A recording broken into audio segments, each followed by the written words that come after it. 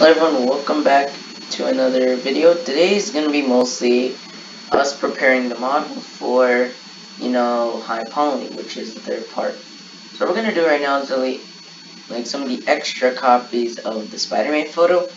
And what we're going to do, um, I kind of forgot this in the last episode, or just thought of it. We were actually going to first make these bigger fingers out of cylinders first before we get into other things. So let's just do that quickly.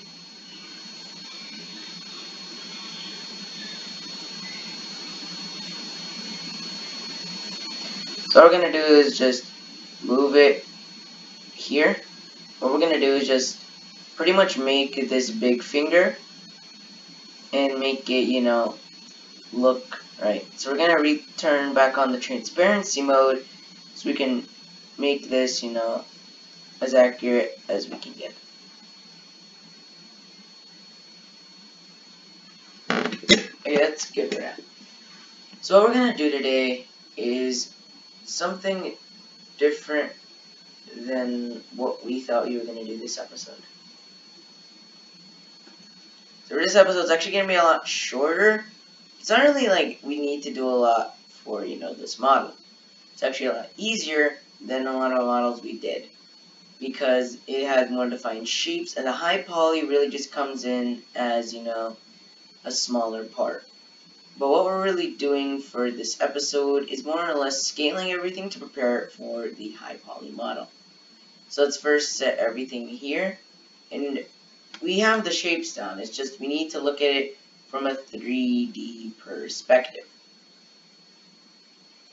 So really the 3D perspective comes in if the shape is like extraordinarily wide or if the shape just doesn't feel right.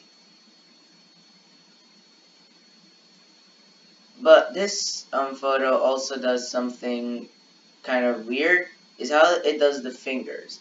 So what we're really going to do with the fingers is angle them outwards.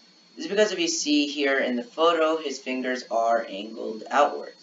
So what we're going to do is angle these fingers outwards and move them up through the hand.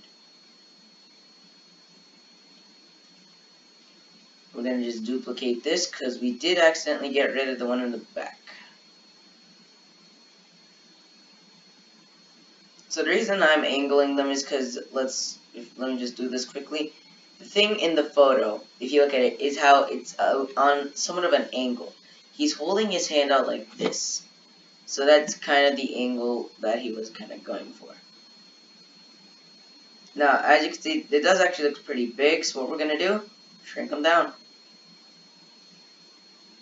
So if this is going to be like this, then this is going to be this, this is gonna be like this. Just move, we don't end in position. Next is look at the we're gonna look at the model and try to you know make things a lot bigger. Like these feet right here. Not not like the foot. The like ankle part. So what we're gonna do is increase that and make it, you know, wider. This is just to match, you know, how big his legs are. We're also gonna make these a little bit wider and basically keep that, you know, leg size here. What we're really looking for for the rest of this video is more or less making everything you look more 3D. So what we're going to do is make his legs look better, move his move part of his legs back because as you can see here it's kind of unaligned. So we're going to move these and align them with what we have. Just to move it here, and then move this right here. Model so far doesn't really have a lot of issues. Probably one thing we might need to fix later on during the high poly is that neck piece. We actually are going to use, since last episode I said we didn't really need it, we're going to do it now. Which is not really going to be a lot. It's only going to be like a tiny cube that we'll use to, you know, rotate the model like this. And pretty much move it here to give that neck illusion. It's not really needed, but it will make the model, you know, look more human. And I'm pretty sure this video is a lot shorter. You can expect that this series is going to be a lot shorter for the first two parts. The next part might be a lot longer. But that's really all we have to do for the 3D viewpoint and preparing the model for high poly. Thank you guys so much for watching. Stay safe out there. Um, like, subscribe, and comment. And bye.